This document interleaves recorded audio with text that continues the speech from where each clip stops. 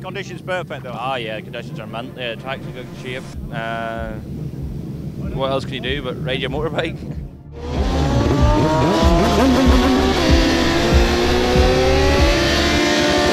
Arguably the most powerful bike out there, 225 brake horsepower, the full factory engine in the Hawk racing machine.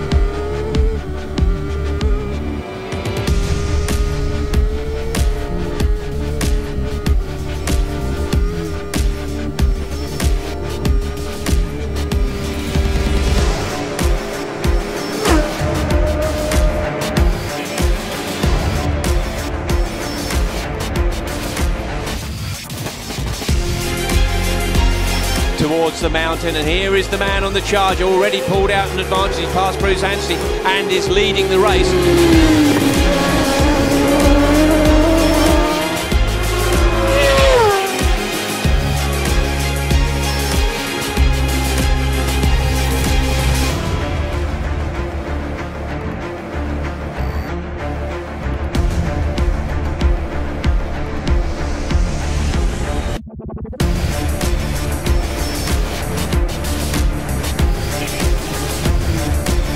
really have to be so pleased. It's 75 years ago that BMW won a race here